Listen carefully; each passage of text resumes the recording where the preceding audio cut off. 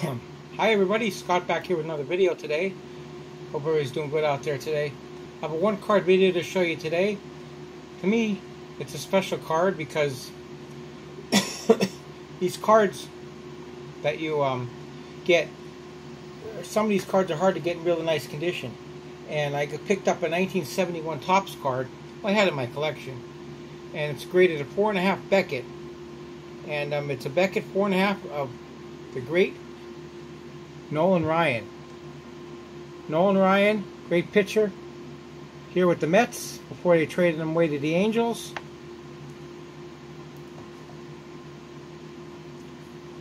Played with the Mets from 66 to 71, the Angels from 79, 72 to 79, the Astros from 80 to 86, and the Rangers from 80, 88, and Rangers from 89 to 93 eight-time All-Star. You guys know the rest. Great player.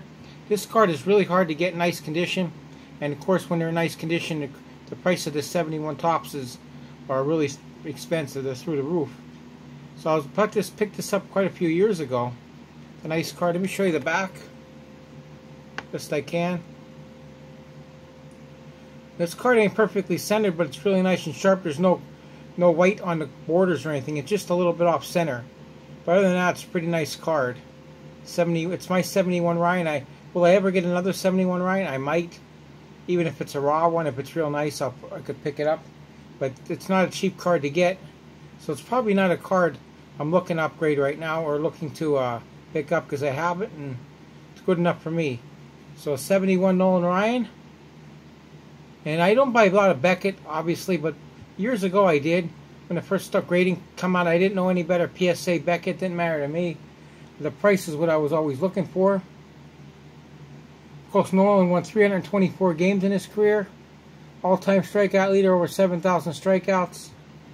And a great player. I always enjoyed watching him pitch. He's one of those pitchers that when he pitched, you watched him. 71 Topps, Nolan Ryan.